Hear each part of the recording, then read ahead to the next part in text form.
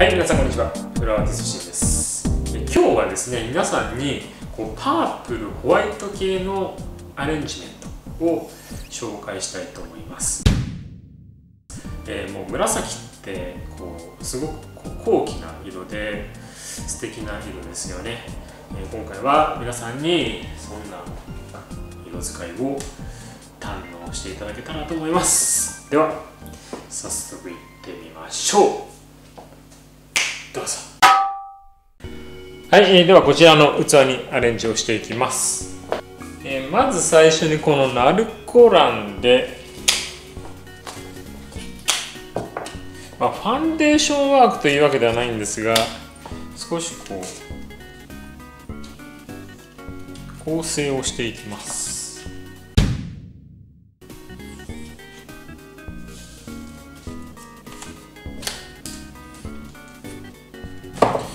えーこうすることによってうんなんかこうやみくもに花を入れなくて済むというか、うん、綺麗なアレンジを作るには結構重要なところですね、まあお花からいく場合もありますけどえ今回の花材だとまあ今から発表してますけどね花材が、え今回の花材だとちょっと葉っぱからいった方が綺麗にできるかなっていう感じがひしひしとしちゃうわけですよ。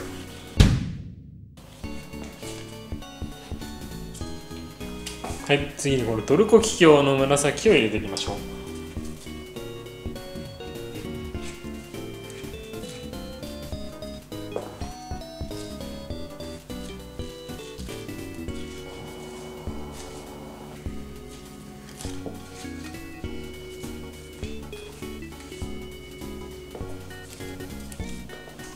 でこのトルコのつぼみって少しこう色が違いますよね。こういうのは少しこうアクセントに入れていきます。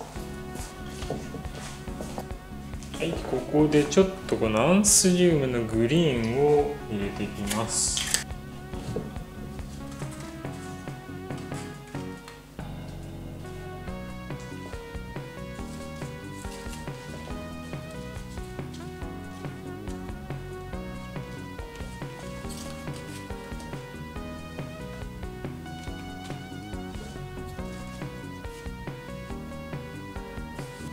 ここでトルコキキョウの白を入れていきます。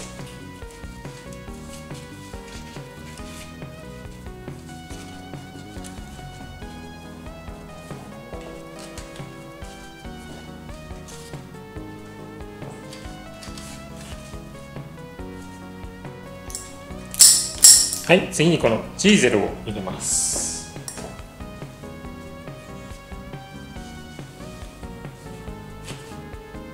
えー次にこのサンスベリアをね入れます。これはスタッキーみたいななんですかちょっと細いサンスベリアですね。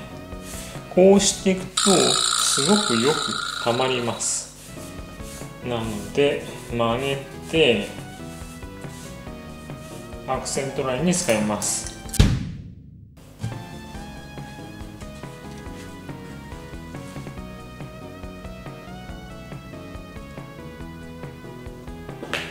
で最後に少しこの周りに鳴子を入れて終わりにします。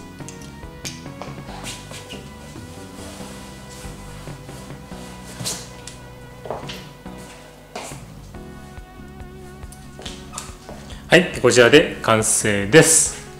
では正面から見てみましょう。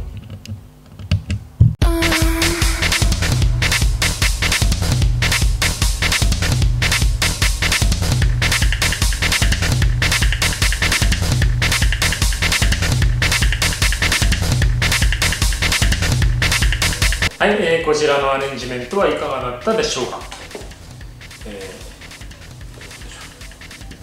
サンスベリアのアクセントラインがなかなか粋ですよね。